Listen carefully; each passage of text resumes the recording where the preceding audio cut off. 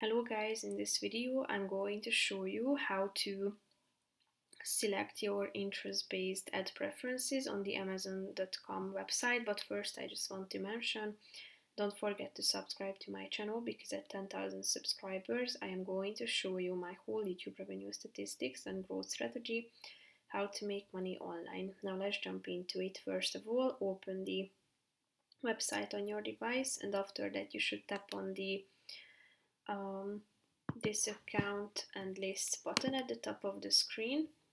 Then you should scroll down to the communication and content section and then tap on uh, advertising preferences, which is the second option.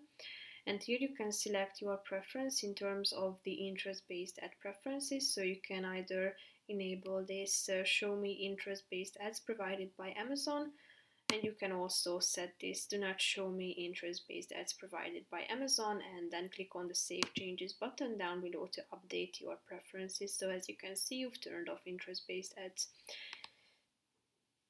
So basically that's it for this video guys. See you in the next one. Bye bye